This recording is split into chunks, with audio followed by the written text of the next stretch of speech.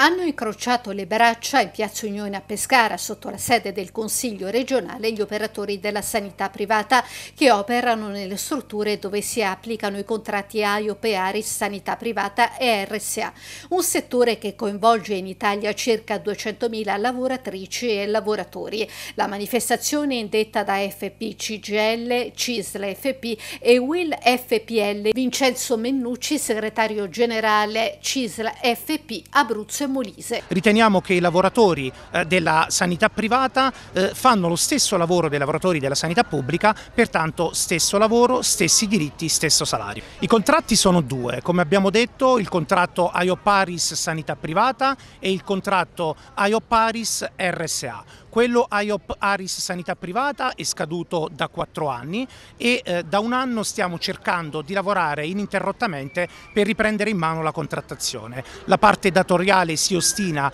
a dire e a dichiarare fermamente che le risorse per il rinnovo della parte eh, de de del contratto collettivo debbano essere messe dalle istituzioni e quindi dalle regioni e dallo Stato. Per quanto riguarda invece il contratto IOP Aris dell'RSA scaduto da 12 anni, si sta lavorando ormai da tanto tempo a far sì che questo contratto diventi un unico contratto e si allinei ovviamente a quello della sanità privata delle cliniche private, non solo, ma anche a quello della sanità pubblica per cui stiamo già ridiscutendo il contratto del 2022-24.